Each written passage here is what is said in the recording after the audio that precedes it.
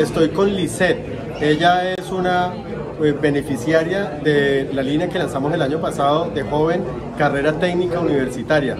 Ella es graduada del SENA de una carrera técnica y tenía un emprendimiento incipiente que tenía que ver con pulpas de fruta, necesitaba capacidad de frío y la única institución obviamente que le dio crédito fue el Banco Agrario porque a estos jóvenes en esos estadios tan primarios pues les cuesta trabajo acceder al crédito. Por eso lanzamos esa línea. Me gustaría, Lisa, que nos contaras cómo te ha ido con tu empresa desde que recibiste el apoyo del Banco Agrario.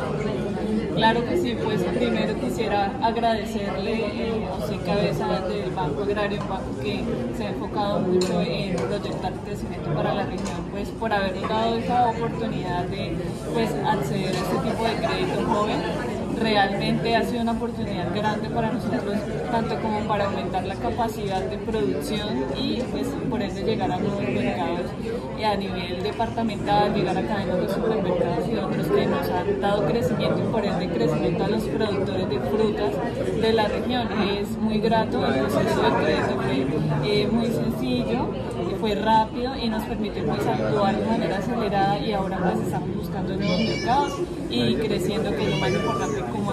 Tú empezaste con tu novio, ¿ya estás generando algún empleo? Claro que sí, actualmente nosotros estamos generando cerca de 8 empleos activos de tiempo completo.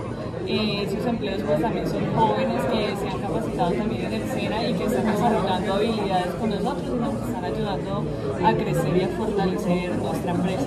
Qué bien, te felicito, Lices, muchas gracias. No, muchas gracias a ustedes.